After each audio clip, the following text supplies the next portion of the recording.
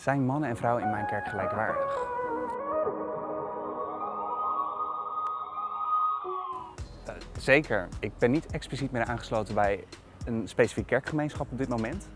Uh, maar als ik dat wel zou zijn, zou ik het zeker belangrijk vinden dat mannen en vrouwen op geen enkele manier uh, van elkaar uh, verschillen in die zin dat ze de gelijke kansen en mogelijkheden, mogelijkheden krijgen in de kerk om nou ja, dienstbaar te zijn aan God, aan elkaar, aan de samenleving.